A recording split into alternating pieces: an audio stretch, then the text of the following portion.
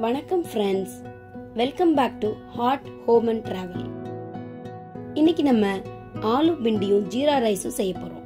அதுக்கு தேவையான பொருட்கள் பார்க்கலாம் வாங்க.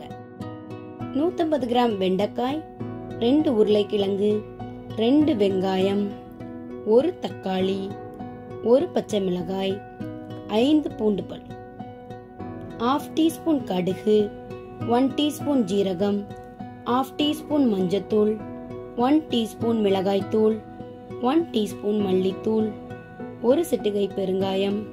சால்ட் உங்களுக்கு தேவையானதை கொஞ்சம் சேர்த்துக்கலாம். ரெண்டு டீஸ்பூன் எண்ணெய் எடுத்துக்கோங்க. இனி எப்படி செய்யலான்னு பார்க்கலாம்.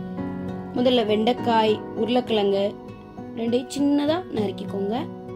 அப்புறம் வெங்காயம் தக்காளி பச்சை மிளகாய் பூண்டு இதையும் பொடியாக நறுக்கி வைங்க.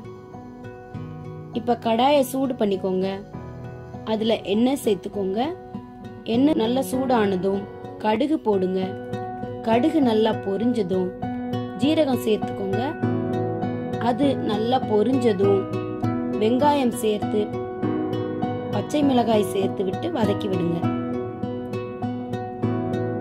அது நல்லா வதங்கினதும் பொடியா நறுக்கிய பூண்டு சேர்த்து விட்டு நல்லா வதக்குங்க.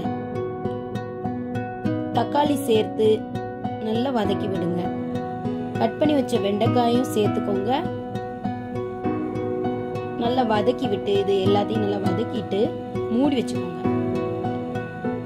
வெண்டைக்காய் கொஞ்சம் வதங்கினதும் உருளைக்கிழங்க சேர்த்து வதக்குங்க.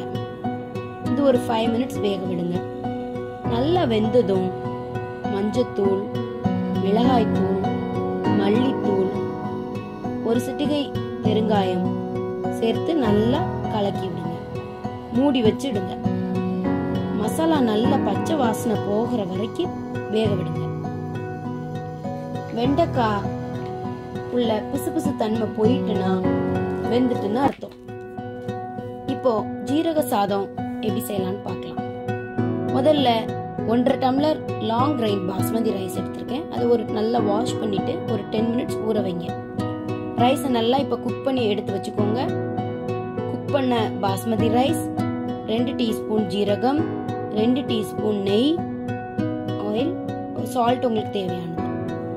முதல்ல கடாயை சூடு பண்ணிட்டு ஆயில் ஊற்றிக்கோங்க ரெண்டு டீஸ்பூன் நெய் சேர்த்து விடுங்க. ஆயிலும் நெய்யும் சூடானதும் ஜீரகம் சேர்த்து விடுங்க. ஜீரகம் கொஞ்சம் பொரிஞ்சதும் குக் பண்ண பாஸ்மதி ரைஸ் சேர்த்து நல்லா கலக்கி விடுங்க. இப்போ உப்பு சேர்த்து நல்லா கலக்குங்க. அடுப்பை ஆஃப் பண்ணிடுங்க அந்த நெய்யும் ஜீரகமும் சேர்ந்து நல்ல கமகமன்னு வாசனை வரும். இப்போ ஜீரக ரைஸ் ரெடி இது நல்லா ஒத்து போகும் ஆளு பிண்டி மசாலா கூட. செஞ்சு பார்த்துட்டு சாப்பிட்டு என்ஜாய் பண்ணுங்க.